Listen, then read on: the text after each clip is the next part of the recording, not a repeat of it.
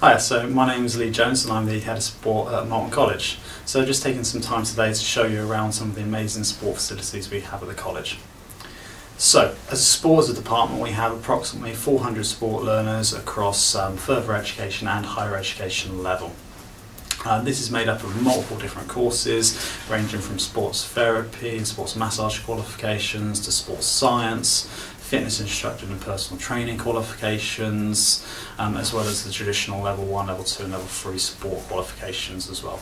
And we've also recently brought in public services both at level 2 and at level 3 for this September just gone.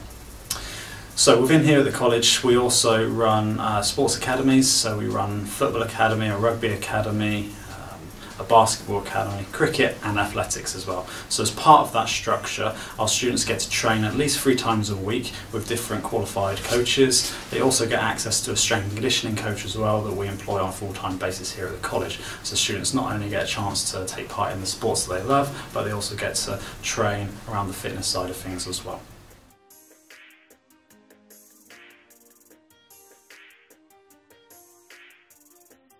So this is Hull Sports Hall. This is one of two sports halls here at the college and as you can see behind me is where we play our basketball games.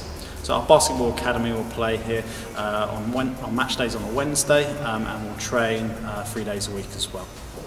Now we'll also have other academic sessions in here as well where we need to do practical sessions and that might be in the form of badminton or volleyball um, and as you can see at the very back of the court as well we've got cricket nets as well. So our cricket academy uh, will use this facility from time to time when they need to do training in the indoor kind of winter months but they will obviously train at Northampton County Cricket Club as well.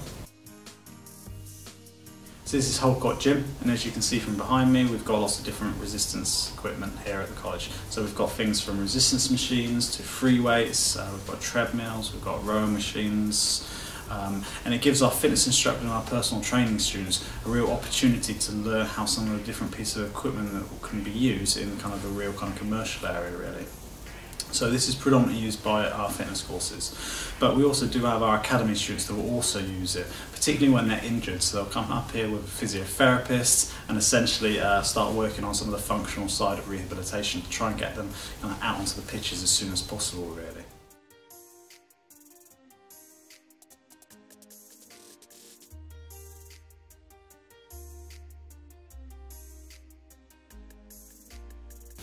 So this is a studio we've got here at the college, which is just right next to Hull Court Gym. So it's a really nice small space for us to use that we use as a warm-up and conditioning area for students, but we also use it as well to run spinning classes and circuit training classes. So you can see in front of me we've got some spinning bikes, so our fitness instructors and our personal training students will learn how to be qualified spinning instructors by the time they leave here at the college. So here at the college we have multiple outdoor sports facilities. Um, as you can see from what we're standing on, this is one of our AstroTurf pitches. We actually have three AstroTurf pitches here at the college. We also have two outdoor rugby pitches, multiple football pitches, and we also have an outdoor uh, hardcore area as well that we use for different practical sessions as well. And these outdoor facilities will be used uh, throughout the entire week um, for academic lessons, sports academy training sessions and also for match days as well when we bring other colleges from around the country here to uh, compete against us. So this is our athletics track. This is predominantly used by our athletics academy that will train here two to three times a week. Um, it's also used for lessons with different sports students when studying modules such as fitness training and fitness testing. And we'll also use this track as well when we do enterprise projects. So for example, we'll bring primary schools down in the summer months where we'll help to run and facilitate the sports day events that happen uh, for their school here at the college. So this is our strength and conditioning gym. As you can see behind me we've got Olympic platforms. So it's traditionally a more strength and conditioning based gym rather than a commercial gym. So what that means is students will be involved in a lot more dynamic and explosive exercises such as squats, deadlifts, things like that. So the purpose behind that is that we're trying to improve the physical development of our students, particularly those that are on our sports academies. So our football and our rugby students are predominantly in here a lot of the time working on strength and speed type drills as well as our basketball academy um, and athletic students as well. In addition to that, we'll also have academic sessions in here as well. So our personal training students and our fitness instructing students will use this uh, for their practical sessions. So again, learning how to do certain exercises and how to instruct it to different members of the public. Our BTEC level 3 students will also be involved as well when they're doing modules that involve fitness related stuff. And as you can see from the equipment, there's plenty to go around.